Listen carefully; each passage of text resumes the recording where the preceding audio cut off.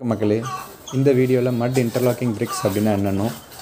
Normal red பிரிக்ஸை வச்சு வீடு கட்டுறதுக்கும் இந்த மட் இன்டர்லாக்கிங் பிரிக்ஸ் யூஸ் பண்ணி வீடு கட்டுறதுக்கும் என்னென்ன அட்வான்டேஜஸ் இருக்குது அப்படின்றதையும் பற்றி தான் நம்ம வீடியோவில் பார்க்க போகிறோம் வாங்க வீடியோக்குள்ளே போகலாம். முதல்ல நம்ம இன்டர்லாக்கிங் பிரிக்ஸ் அப்படின்னா என்னென்னு பார்த்தோன்னா ஒரு ரா எர்த்தை ஒரு ஹை ப்ரெஷர் கொடுத்து கம்ப்ரெஸ் பண்ணி அது மூலியமாக கிடைக்கிற ஒரு ப்ராடக்ட்டை தான் நம்ம வந்து இன்டர்லாக்கிங் பிரிக் அப்படின்னு சொல்கிறோம் அந்த ரா எர்த்தை ஸ்டெபிலைஸ் பண்ணுறதுக்காக சிமெண்ட்டோ இல்லை வந்து லைமோ ஒரு குறிப்பிட்ட percent for example five to ten percent வரைக்கும் யூஸ் பண்ணுவாங்க. அதனால நம்ம வந்து இந்த பிரிக்ஸை வந்துட்டு கம்ப்ரஸ்டு ஸ்டெபிலைஸ் எர்த் பிளாக்ஸ் அப்படின்னு கூட சொல்லலாம்.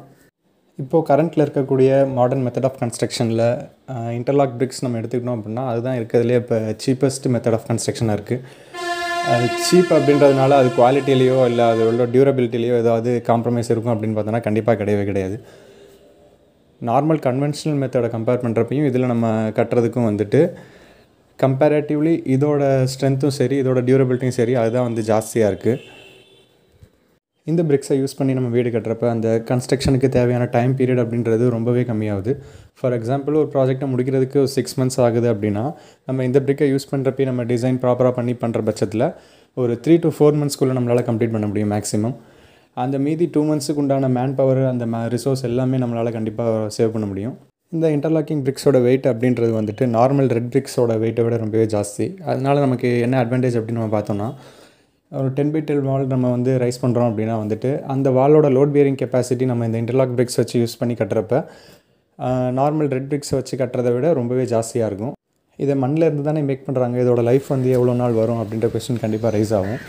இதோட லைஃப் அப்படின்னு நம்ம பார்த்துட்டோம் அப்படின்னா கண்டிப்பாக வந்துட்டு நார்மல் கன்வென்ஷனல் பிரிக்கை யூஸ் பண்ணி சிமெண்ட்டை வச்சு கட்டுற அந்த மாடர்ன் டே கன்ஸ்ட்ரக்ஷன் டெக்னிக்கை விட இதோட லைஃப் அப்படின்றது ரொம்பவே ஜாஸ்தி தான். இந்த பிரிக்ஸும் வந்துட்டு நாள் ஆக ஆக ஏஜ் ஆக ஆக அதோட ஸ்ட்ரென்த் அப்படின்றது ஜாஸ்தி ஆகிக்கிட்டே தான் போகும். ஸோ டியூரபிலிட்டியை பொறுத்த வரைக்கும் எந்த ஒரு இஷ்யூவும் கிடையாது. இந்த பிரிக்கை யூஸ் பண்ணி நம்ம வீடு கட்டுறப்ப நமக்கு சிமெண்ட் அப்படின்ற ஒரு ப்ராடக்ட் சுத்தமாக தேவையே படாது. அதாவது வால் ரைசிங்க்கு மட்டும். ஏன்னா இந்த பிரிக் வந்து ஒன்றோட ஒன்று லாக் பண்ணுற மெக்கானிசமில் தான் ஃபங்க்ஷன் ஆகுது. அப்படின்றப்ப நமக்கு அதுக்கு ரெண்டுத்துக்கும் ஒரு பாண்ட் க்ரியேட் பண்ணுறதுக்கு ஒரு பாண்டிங் ஏஜென்ட் அப்படின்ற சிமெண்ட் நமக்கு தேவையே இல்லை. ஸோ நம்ம வந்து சிமெண்ட்டை தாராளமாக எலிமினேட் பண்ணிடலாம். எந்த பிரிக்ஸை யூஸ் பண்ணி நம்ம வால் ரைஸ் பண்ணுறப்ப நமக்கு அந்த வால் ரைஸ் பண்ணுறதுக்கு உண்டான தண்ணீர் தேவை அப்படின்றத நம்ம வந்துட்டு பெருமளவில் குறைக்கலாம். குறைக்கலாம் அப்படின்னு சொல்கிறத விட அதை சுத்தமாக எலிமினேட் பண்ணிடலாம் அப்படின்னு சொன்னால் இன்னும் சரியாக இருக்கும். அதுக்கு என்ன மெயினான ரீசன் அப்படின்னு நம்ம பார்த்தோம் அப்படின்னா நம்ம முன்னாடியே சொன்ன மாதிரி ஒரு வாழை ரைஸ் பண்ணுறதுக்கு நம்ம சிமெண்ட் அப்படின்ற ப்ராடக்ட்டை டோட்டலாக எலிமினேட் பண்ணிட்டோம். ஒரு கட்டுமானத்துக்கு தண்ணீர் தேவை அப்படின்றது எதை வச்சு தீர்மானிக்கப்படுது அப்படின்னு பார்த்தோன்னா பிரதானமாக வந்துட்டு சிமெண்ட் தான் அதை தீர்மானிக்குது. சிமெண்ட் எவ்வளோக்கு எவ்வளோ நம்ம அதிகம் யூஸ் பண்ணுறோமோ அவ்வளோக்கு அவ்வளோ வந்துட்டு நம்ம தண்ணீர் தேவை அப்படின்றது ரொம்பவே ஜாஸ்தியாக இருக்கும். நம்ம இந்த சிமெண்ட் அப்படின்ற ஒரு ப்ராடக்ட்டை இங்கே எலிமினேட் பண்ண காரணத்தினால நமக்கு தண்ணீர் தேவை அப்படின்றது பெருமளவில் குறைக்கப்படுது.